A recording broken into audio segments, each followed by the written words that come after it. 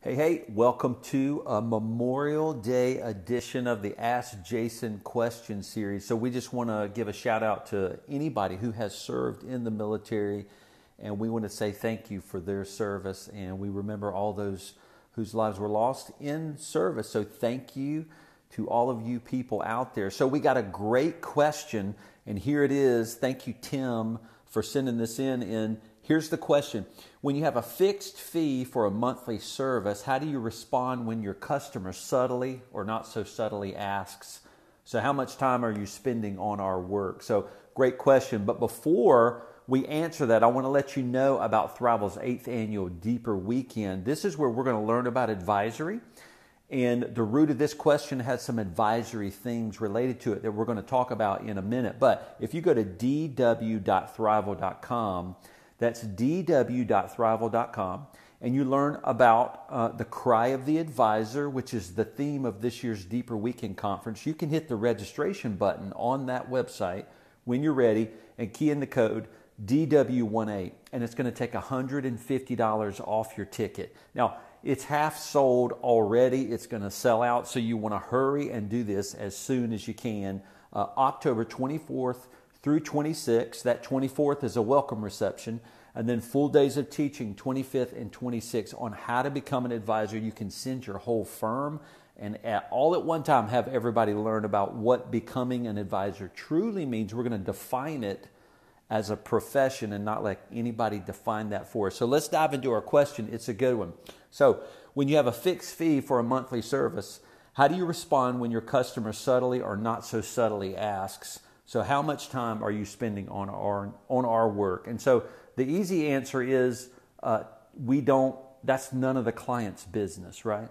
Uh, so that's like that's like buying a pair of jeans and asking somebody to tell them about how the how it was stitched together. It's like what are the workings of the thing that go into the service that you're selling? And, and honestly, those things are not uh, what clients are meant to to be managing. So um, so I think easily the answer is we don't share that information with our clients. Um, is there, you know, and maybe maybe you can ask, is there another piece of information you're looking to find out? Is there a reason why you want to know those information? Because as a policy of the firm, we don't share that information uh, with our clients. And in fact, I mean, you wouldn't say this, but that is not the place of the client to be asking you those kinds of questions. That is an internal business model decision that's like that's like a client asking really to see your financial statements. Can you tell me if the profit you're making is is appropriate for what you're charging me? And that's just that's just not a relationship you want to get into with a client. So I do realize there's risk in answering that question. Um, I think the right answer is to say uh, we don't share that information with a client as a policy of the firm. Um, now, for our firm, it can be easy, right? We don't share, we don't track time in our firm, but a lot of firms do track time. Uh, so I think it's just easy enough to say uh, we don't share that information. Now, you're taking a risk when you do that, right? Because what's the what's at the heart of that question? Uh, the, at the heart of that question is does the client trust you?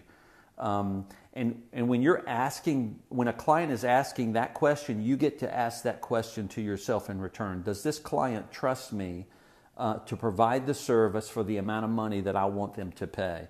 Um, and the answer may be no, they don't trust you. So I would say there is a risk to answering this question, but the risk is worth taking to make sure you are aligned with the right client. This is actually a client alignment uh, issue, right? Uh, this is uh, trying to figure out is your client aligned with who you are? That is, do they trust you enough to not ask that question? And the reverse of that is if they're asking that question, maybe they don't trust you. Well, you know what the heart of the cry of the advisor is going to be? Um, a foundation to being an advisor is that your clients trust you. So if you have clients seeking to, to weigh in to the decisions of your business model and to the profitability of your firm, then they're probably not trusting clients. They're also probably not clients that you can do advisory services with because not all clients are clients you can advise.